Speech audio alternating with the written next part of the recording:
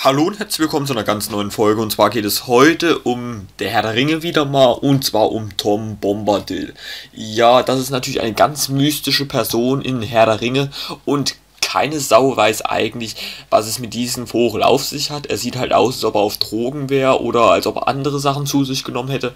Aber er ist ein sehr liebenswürdiger, naja, jetzt wollte ich schon sagen Mensch, aber es ist ja kein Mensch. Es ist auch kein Zwerg, es ist auch kein Hobbit, es ist, man weiß es einfach nicht. Es wird vermutet, dass er natürlich ein Maya ist. Denn, ähm, ganz genau wird das natürlich nicht gesagt, was er ist. Äh, ein Valar, das würde ich eher doch bezweifeln, das wird auch nicht gesagt, aber manche wollen sogar behaupten, er wäre Melkor getan, das will ich aber auch ausschließen. Was will denn ein Bösewicht in einem alten Wald und tanzt durch die Gegend und hüpft und singt und so. Und auch der Urvater, das wäre natürlich auch was ganz Interessantes, weil viele sagen ja auch, vielleicht ist der ja auch der Urvater, der alles erschaffen hat, ne? Und dass das sozusagen eine Tarnung ist weil er tut immer so, wenn man Tom Bombadil fragt, wo er herkommt, gibt er nur Rätsel sozusagen und er hüpft halt den ganzen Tag durch den Wald und singt und lacht und oh Gott, als, als ob einer auf Drogen wäre. Tom Bombadil ist aber sehr, sehr friedfertig und wird nicht aggressiv, also er ist nicht aggressiv gegenüber den Hobbits gewesen. In der Herr der Ringe im Film wurde leider Tom Bombadil komplett rausgelassen. Leider bin ich wirklich enttäuscht, das wäre eine geile Szene gewesen, in der Gefährten mal im alten Wald reinzugehen und bei Tom Bombadil Hallo zu sagen. Er lebt natürlich in einer abseits geschiedenen Hütte mit seiner Frau Goldbeere, die Tochter der Wasserfrau sozusagen der Weidenwinde, die ist jetzt nicht so mystisch, würde ich sozusagen sagen, aber doch, sie hat halt eine Schönheit der Elben und hat auch die Herzlichkeit eines Hobbits, ne? Das muss ich nur noch sagen, aber sonst weiß man leider auch nicht so viel, außer dass sie goldblonde Haare hat, anmutig und still beschrieben wurde. Also auch ziemlich mystisch, aber Tom Bombadil ist ja das, worum es heute eigentlich geht. Tom Bombadil besitzt Macht sozusagen nur in seinem Wald, der alte Wald. In der alte, also der alte Wald verlässt er ja auch eigentlich gar nicht, aber er ist auch sehr gut befreundet mit Bauer Margot, den kennen wir ja, denn äh, der jagt ja die Hobbits aus dem Feld raus, wie wir wissen im Film. Und äh, nochmal zu kurz zu dem Film.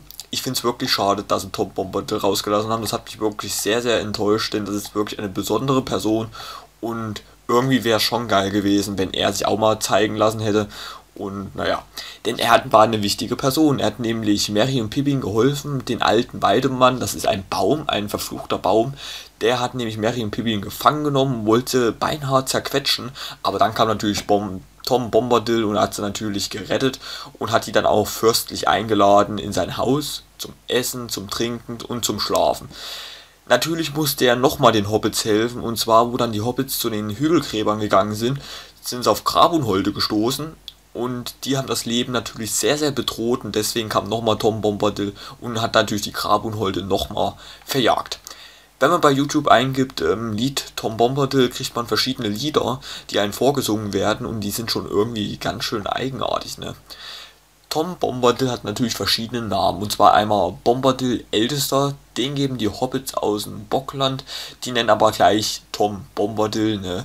So die Hobbits zumindestens.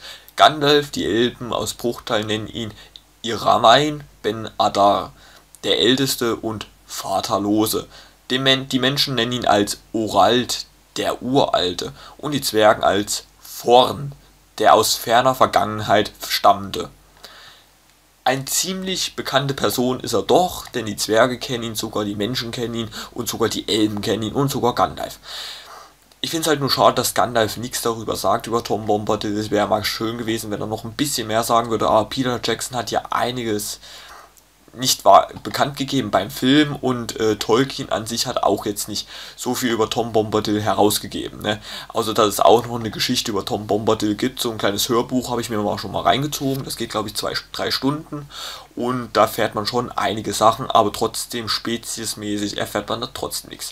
Dann gibt es wieder Leute, die sagen, naja, wegen seinem blauen Gewand, was er anhat und diesen Gürtel und den ganzen Kram, könnte man ja denken, das wäre der von den zwei Zauberern, die zwei blauen, Alatar und Palando, dass das der dritte blaue ist, aber das glaube ich ja eher weniger, weil es wurden ja nur fünf Istaris nach Mittelerde geschickt und keine sechs, weil sonst wäre ja Tom Bombadil ja Magier und Gandalf hätte ja auch wissen müssen, hier, das ist ein Magier, ne? Aber das äh, ist auch ein Fake, bin ich der Meinung, so ein totaler Quatsch. Ich bleibe bei meiner Meinung, dass das der Urvater ist, einfach ein getarnter Gestalt, denn selbst der Ring hat auf ihn einfach keine Wirkung. Im Buch wird es perfekt äh, beschrieben, dass äh, Tom Bombadil von Frodo mal den Ring nimmt und aufsetzt und er wird einfach nicht unsichtbar. Er bekommt keine besonderen Kräfte und wird auch nicht unsichtbar. Also ich glaube, Tom Bombadil, das hat das gerade gar nicht richtig gejuckt. Außerdem wird ja auch gesagt, äh, dass Tom Bombadil der Letzte wäre, den Sauron sozusagen bei seiner Herrschaft einnehmen würde. Wer weiß, ob es überhaupt Sauron schaffen würde, weil Tom Bombadil, naja, wenn man dem mal ins Gesicht schaut, der ist ja nur am Lachen, ne? Und äh, deswegen, was haltet ihr eigentlich von Tom Bombadil? Ist er auch ein Lieblingscharakter von euch? Also ich bin der Meinung, er ist ziemlich cool und ich finde es schade, dass er im Film nicht aufgetaucht ist. Vielleicht kommt er eines Tages. Und was ihr von Tom Bombadil haltet, würdet mich auch mal interessieren. Und deswegen ähm, schreibt es doch mal in die Kommentare und dann bedanke ich mich. Tschüss und bis bald.